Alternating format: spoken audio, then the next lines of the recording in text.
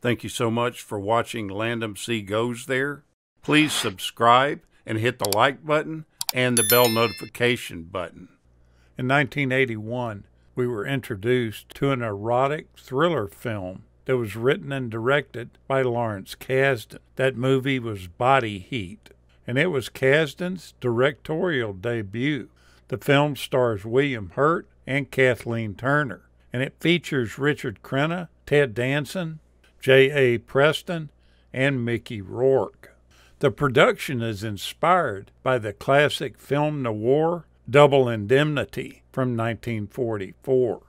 The storyline goes that on the Florida coast, a heat wave has settled in. But this doesn't affect the overactive sex drive of womanizing Ned Racine, a Miranda Beach lawyer that's not very good at his job. He has his own small law firm and spends a lot of his time spying on several women as possible conquest. But the one he really has his sights set on is the beautiful Matty Walker, who he can tell comes from money just by her appearance alone. She flirts with him despite his less than subtle come ons, and she thinks of him as being very simple minded. Ultimately, she tells him that nothing will happen between the two of them since she is married, and that her wealthy businessman husband, Edmund Walker, only comes home to their upscale Pine Haven house on the weekends, if at all. She stipulates to him that he can't tell anyone of their affair, which is pretty much against the general behavior of telling all his friends. As the affair escalates into a declaration of love, it also turns into one of greed, wanting both each other and Edmund's money. Since Matty signed a prenuptial agreement that would provide her with nothing upon divorce, they decide instead that they need to murder Edmund. As they plan their plot, they encounter some unforeseen obstacles, including some the result of last minute changes to the plan by Matty without her notifying Ned beforehand. Ned eventually comes to the realization about what he's gotten himself into, and by that time it may be too late for both himself and for Matty. Kasdan, the director, wanted the movie to have the intricate structure of a dream, the density of a good novel, and the texture of recognizable people in extraordinary circumstances. George Lucas acted as an uncredited executive producer following successful collaborations with the director as a screenwriter on Raiders of the Lost Ark and The Empire Strikes Back. It's said that Christopher Reeve turned down the role of Ned Racine, which eventually went to his good friend William Hurt. Reeve would later regret that decision, though he was really glad for his friend. A pretty good portion of the film was shot in east central Palm Beach County, Florida.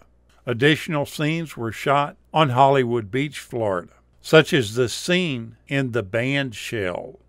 There were originally more graphic and extensive sex footage in the film, but after showing it to some test audiences, they ended up coming to the conclusion that the graphic footage just wasn't needed. They felt that less was more. Reportedly, the picture was shot in freezing cold temperatures, something that wasn't common in that area. The production had to simulate the heat wave in the film's story, the actors having to act hot in cold conditions. For example, the cast had to suck on ice cubes before speaking to eliminate foggy breath. And they also had to have water sprayed on their skin and clothing to simulate perspiration. The character of Matty Walker that Kathleen Turner plays was modeled on screen legend Lauren Bacall. Turner was cast in this role due to the similarities that she had to Bacall, including a distinctively husky voice and distinguishable, long, shapely legs. Now, whether this fact is true or not, it still makes a good story, It's said that William Hurt and Kathleen Turner wanted to make the crew feel comfortable while they were filming their love scenes. So they lined up the crew, and both actors introduced themselves to each crew member. The difference being that when they did this, both of the stars were unclothed. Ted Danson plays somewhat of a different role in this film than we're used to seeing him in. And it's said that his mother went to see the movie and walked out in the middle of it due to the picture's provocative nature. She didn't tell her son this, though, and had pretended for many years that she had seen the film. She finally revealed this fact to him many years later. When Kathleen Turner did her second reading for the writer director, Lawrence Kasdan, he said that it was the first time out of all the scripts he's written that someone had read the part exactly as he had imagined it when he was writing it. Turner sounded just like Matty Walker sounded in his head. The film was originally slated to be shot in New York or New Jersey area. It was moved to Florida because of a Teamsters strike. The two lead actors did a lot of stuff to try to break the tension that was on the set. When it got too much, Turner said she and Hurt would have races up and down the lawn and jump into the water. But she also admitted that she would shake and cry in her dressing room after shooting almost every heavy scene. Rumors flew about Turner, Hurt, and Kasdan on the set. One day while shooting, Turner was told by her agent that he had heard she was having an affair with both Hurt and Kasdan. She was extremely upset about this because none of it was true. She felt like it ruined everything for her. She was really hurt. Initially, Kathleen Turner wasn't even in the running for this part.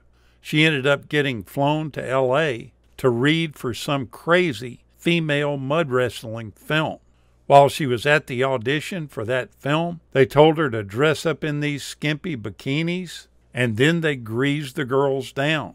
Turner said this was not what the original script was laid out to be before she came. But luckily, one of the casting agents for Body Heat happened to see her and thought she looked perfect for the role of Matty. She ended up auditioning and was perfect for the part. So that's how Kathleen Turner went from mud wrestling to being a seductress in Body Heat. If you've never seen this film, do yourself a favor. It's a great one. Thank you so much for watching, and we'll continue to chase the classics.